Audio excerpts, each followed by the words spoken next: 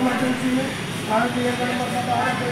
ये बस emergency medical service का नंबर पता होना चाहिए कई बार इमरजेंसी में क्या है कि फैमिली का नंबर को गूगल पर ढूंढते हैं लेकिन कभी आग लगती है तो आग तीन से चीज़ों को लेकर लगती है नंबर एक होता है ईंधन ईंधन हमारे वातावरण में होने का होता है ईंधन तीन ही